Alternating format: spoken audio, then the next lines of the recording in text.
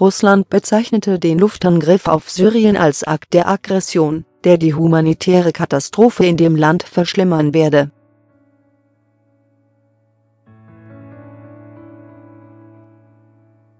Präsident Wladimir Putin forderte nach dem Angriff eine Sondersitzung des UNO-Sicherheitsrats.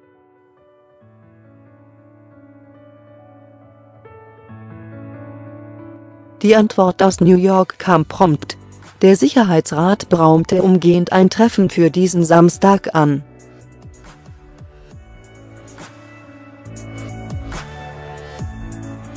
Das Gremium kommt 17 Uhr deutscher Zeit zusammen.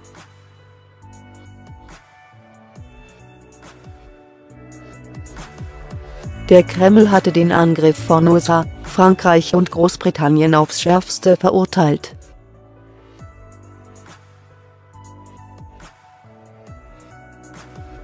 Der Militärschlag habe einen destruktiven Einfluss auf das gesamte System internationaler Beziehungen.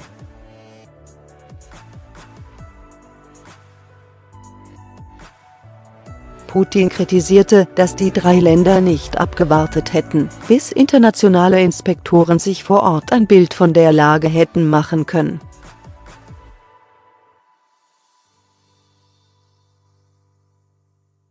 Wie die Reuters neben Russland hatten auch Syrien, Iran und die Hisbollah die Angriffe verurteilt.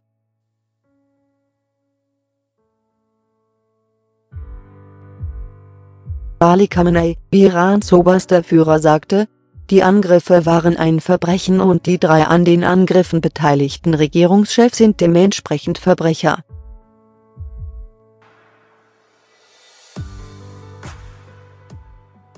Anführungszeichen unterdessen wertete US-Präsident Donald Trump die Operation als Erfolg und feierte diesen am Samstag auf Twitter. Perfekt ausgeführter Schlag, schrieb Trump, hätte nicht besser laufen können.